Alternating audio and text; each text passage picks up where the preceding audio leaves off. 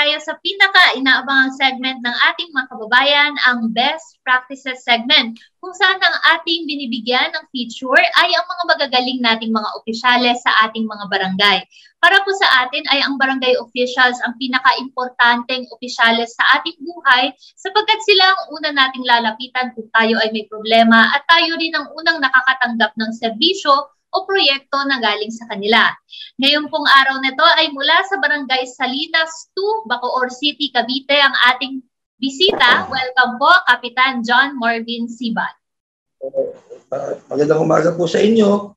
Uh, ito po si Kapitan Marvin Sibal po ng Salinas 2. Kumusta po kayo dyan sa barangay tayo, sa TNN po, TV, at kay Undersecretary Tino po. Magandang umaga po sa inyo. Uh, mabuhay po, uh, Kap Jan, uh, Sibal.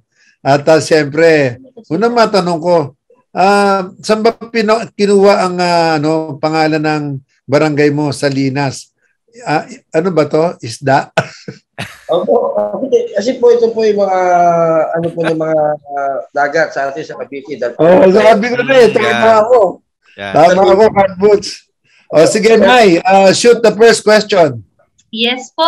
Kap, nakita po namin talaga na talagang active po ang inyong mga serbisyo sa inyong barangay. Meron po kayong assistance bukod sa ayuda para sa mga naka-quarantine, mandatory swab testing para sa mga kinasasakupan po ng inyong barangay. Maaari po ba ninyo ikwento po sa amin ito, mga uh, programa po ninyo? Ayan po. Uh, at kasi po ito pong sa quarantine eh talagang nagkaroon po tayo ng mandatory ano po uh, swab mm-hmm. sa ating mga kawani ng barangay. Bakit po sila aking pinilit at sabi ko hindi po pwedeng hindi kayo magpapaswab dahil tayo unang-unang naka-approve sa ating uh, mga kababayan dito sa ating sa, sa Linas 2 at uh, yung hindi po magpapaswab eh, sabi ko eh, medyo pahinga muna kayo kasi talaga po protocol po tayo diyan at ang ating mga kabarangay po, ito pupuntahan po natin, lalo na po ang mga uh, depressed area po, ay atin pong pinupuntahan at sinecheck po natin. At lahat naman po yun yung nakadokumento na sila po ay kailangan po ay nakapagpa ano po, nakapagpa-vaccine. At uh, yung mga nasa labas po ay aming bisita at ang, at ang mga ano po ay establishmento tulad po ng mga mart po, Alpha Mart, Pure Mart, uh, all day po ay aming pinapasok kasi kailangan po silang nakaprone na magtitinda at no vaccination card, hindi po sila magtitinda. Dahil para lang din po sa amin yun na makabawas po sa mga dinadala namin sa facility. At uh, yun po ang ating ginagawa sa ngayon meron po alam ano sa atin. Pag po tayo dito, nagtayo po ito ng checkpoint at yan po yung nakadokumento rin po. Para uh, uh, kababayan na naglalakad-lakad ng walang face mask, walang card. Yun po. O kaya nga ito, no, uh, SK Mike Cagboots, no, tignan nyo naman si Kapitan. Kaya yung mga bumabatikos na uh, ano, ito, ito sample si Kapitan na Jan Sibal. Biro nyo, hindi pa inuutos ng Interagency Task Force, ka, barangay na ang uh, sumasagot para dito sa testing. Oh, saan ka pa? 'Di ba? Tapos nakita nyo ano sinabi ni Kapitan. Pag hindi ka sumunod sa barangay, lalo-lalo na kung kayo'y mga tindero o ano, sa health protocol, eh hindi talaga kayo ma- hindi talaga kayo makakalabas ng bahay. So, dito lamang nangangahulugan na ang barangay ay isang gobyerno na pinatutupad at uh, pinatatakbo ng isang punong barangay. Kaya nga kung anong kapangyarihan ng ating punong, punong lungsod, eh yan din ang kapangyarihan ng punong barangay. Kaya sabi ko nga eh, kung tutuusin na three branch of government is under our shoulder, nasa balikat ni Kapitan yan. Uh, Kapitan, ano pa ba ang ibang mga magagandang programa natin? Lalo-lalo na. At saka pwede bang malaman uh, yung uh, gano'ng kalaking barangay mo, ilan ang constituent, tapos uh, saan makikita? Uh, dito po sa amin sa, sa, sa Salinas Dos po, eh, mubuo na po kami ng automatic po. Kasi may bago po po kami sa ngayon po, sir, uh, natigil po yung ating uh, pagmamonitor sa census po dahil dahil nga po sa pandemya At uh, sa ngayon po, eh, ang ulit po namin ay nasa 2,000 plus residents po. Dahil po ito eh, may bago ho kasi kami din-develop na bagong subdivision na nasasukupan po sa aming lugar. Tulad po ng Villa Alessandra. Yan po ay binubuo po ng Villa Alessandra 1, Villa Alessandra 3, 4, 5, 6, 7, 8. Kaya lalo hong lumaki ang aming barangay. Wow! Yes, sir. At yung siya sabi niyo po ay maraming po salamat Sir Dino po sa inyong pagpaano po sa amin. Nakakataba ng puso. Although marami po minsan may mga basher pa rin, hindi mo mawawala yan eh. Hindi po sila kontento at yung mga sinasabi na pinipwersa, hindi ko po sila pinipwersa. Yan po ay para sa kanila rin. Kung tutusin po, uh, sa, kapag po nagluluwagan po sila, kami rin naman nahihirapan eh. Tatawag ho gabi, hindi na po makahinga. Itatakbo po ng ambulansya. Diyos ko po, isa lang po ang ambulansya namin. Tapos, ang nangyari po, eh, kapag po pinatakbo, malalaman po namin, hindi pa pala nakapag uh, vaccine, nakapag vaccine. So, Correct. No. Kapag uh, nakapag ano po kami ng ano po rito, nakapag-request po ako ng tatlong beses na. At meron po sa SM Bacoor. May sasakyan po kami, nasira na nga po yung isa dahil sabi ko po, ihatid niyo yan sa SM Bacoor para makapagpa-vaccine lang po. Tapos, minsan pag talagang alam naming hirap, medyo may naramdaman o matanda, minsan kinakapalan ko na yung mukha ko. Kunwari, pinsang ko na lang para matulungan na lang. Para hindi sila madala ba ho. Kaso eh, minsan meron mo talagang takot dahil dahilan po nila, eh nasusuka raw sila pag baka daw sila mamatay pag sila nagpabasa. Ako daw sisihin. Sabi ko, hindi. Na ano. Hindi kaya ala ano mo ka, ang nangyari lang diyan, merong ano, merong mga nagpakalat ng ganyan pero sa totoo lang, uh, sabi ko nga nakita nyo kung gaano oh, kayo mga ano, yung mga kontra, oh, tignan nyo kung gaano katapang tong kapito ah, na kung saan may sarili kami diskarte para lang matugunan namin yung mga pangangailangan lalong-lalo na dito sa kampanya natin against COVID-19 uh, just imagine, bugbog na bugbog na ang ating mga barangay official. Magmula dun, sabi nga eh, magmula nang pumunta dito yan sa DILGC, Yusik Dino, tsaka si uh, Secretary Anyo, magmula sa Badak, fight against illegal drugs.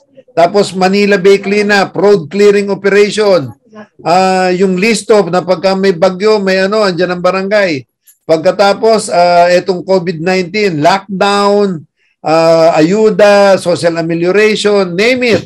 Barangay ang nanguna dyan. Eto na naman. Inutusan na naman natin para dito sa uh, pagkuha ng mga pangalan ng bakunado at hindi pa bakunado. Kap, kamusta na ang ating development dito sa uh, data gathering natin kung sino pa, kung ilan pa ang kailangang uh, bakunahan sa barangay mo.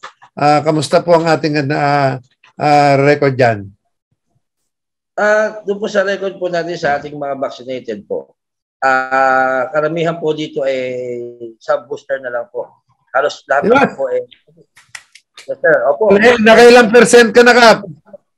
Yes po. Nakarecord po yung check sa ating pong health center ilang, po dito. Kaya nga ilang percent na? Yung booster na lang po problema namin kasi nung nakaraan po. Yung Galing, po, ha? Opo, yung isang barangay po namin, ah, sa Real sa Real po, Real po kung tawagin, Real Dos po na barangay. Nagkataon po na unfortunately si kapitan po eh na COVID, nagkaroon po ng tinamaan. So nagtanong po sa itong DOH sa amin sa City Hall na nagre-request kasi may COVID code po ako rito na hindi ko pinapalaro ng basketball, tinanggal ko yung ring. Ngayon, naka, nakalak po yan at pinalinis ko. Nag-request po sila sa akin na baka pwedeng dito po natin yung uh, unbox, yung first dose, second dose at saka ano po, uh, booster. Nagkataon po na pina, pinayagan ko po. Sabi ko, sige po. Sabi nga niya, kaso lang ka pa, ikaw na naman ng, alam niyo na po, kang kapitan, ikaw na naman ng, barangay na naman ng gagaso sa pagkain. Sabi ko sa kapitan. Eh, Ayan. Sabi ko, oh, sige, bahala na kung ano yung mapag-anuhan natin. Eh, eh, eh pagkasya-kasyahin na lang kung ano. At uh, ano ba papakainin natin? O yung mga workers lang naman po, yung mga tanod po na mag, mag uh, para sa ating mga protocols, health protocols, Then sige po, sabi ko, ang problema ko, medyo talaga nagka-problema po sila. Uh, bilang sa last, last po na, last minute po, nasabi nila na 9 po, 9 o'clock na po dumating, biglang sinasabi po na ang booster shot daw po eh hindi daw po matutupad dahil nagkaroon daw po ng problema yata sa booster. Diyos ko, sir, 5.30 pala po, ang mga tao nakapila na rito. Proud pa akong Ah, Facebook sa live. Sabi ko, Ah. pumunta na kayo para sa booster shot. Ayun po, ang kinalabasan. Tantad si Kapitan ng mura sa Facebook. Ay Kagbots, talagang tong na itong ating guest, eh, talagang ah, masasabi kong super kapitan to. Anyway, uh, Kago, kayo na. Uh, uh, throw the question. Uh, alam mo Kapitan, pag uh, Yusef, pag nakikita niyo si Kapitan, ano, talagang makikita mo sa kanyang pananalita na talagang napaka-busy niya at ang passion niya para pagsilbihan ng Salinas 2, ang kanilang barangay eh ganun-ganun na lamang at talagang napaka nakaka nakakataba ng puso ang inyong serbisyo. Ah, uh, Kap, meron pa tayong konting ilang minuto na lang at uh, uh, baka naman pwede kang mag-iwan ng mensahe sa aming mga televiewers o kaya dyan po sa inyong uh, mga kabarangay, Salinas 2. Pero bago nyo ho gawin yon, napapansin ko sa t-shirt ninyo, parang pareho tayo. Letranista ka ba? Oo. Letranista ka? Taga-letran ka? Hindi po. Ano lang po to, bigay lang po ng munisipyo. Ah, okay.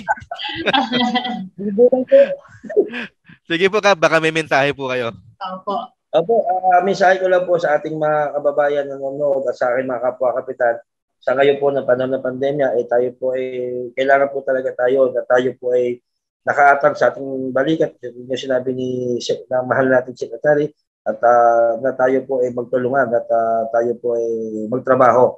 Dahil noong mga panahon naman yan, at uh, talagang mga nakarang kapitan, eh, katong kagawad po ako, nag-number one po ako, eh, naranasan naman natin din yung Black Bay Aral, makapasyal din tayo. So sa ngayon, no, eh, panahon ng pandemya, eh, kailangan po tayo magtulungan. Tsaka, sir, uh, sec, kung nandiyan po po kayo, eh, iaano ko pa po yung konting-konti lang po, briefing po. Para, po. Kasi tungkol po sa anti-drugs po sa ating baba. Konting report lang po sa inyo. Na, sa amin, Sige, sige, sige. Yes po, sa aming Salinas Dos po, eh, meron po tayo tinatawag na surrenderist po. Uh, sa, uh, sa awa ng Diyos po, eh, nakarecord lang po ay 15. Eh, dalawa po ay ano na po, wala na po, report yung dalawa.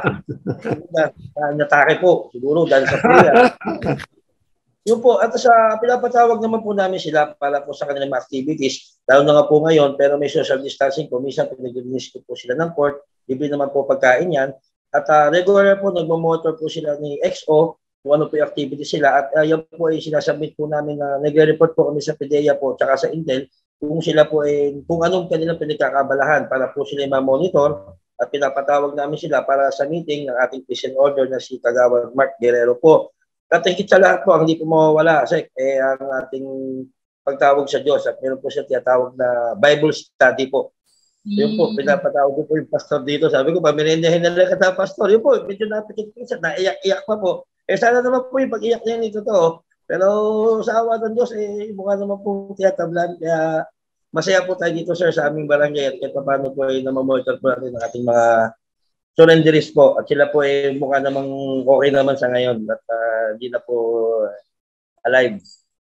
Alala mo, Kagawad Woods, parang nakikita, parang nakikita ko yung uh, katauhan ko dito kay Kapitan Jan Sibal. Alam mo kung bakit? Ayan yung tinatawag ko nung time na barangay captain ako for 13 years. Ito yung tinatawag na barangay-based rehabilitation program. Hindi natin hindi natin kailangan yung mga rehab na malalayong lugar.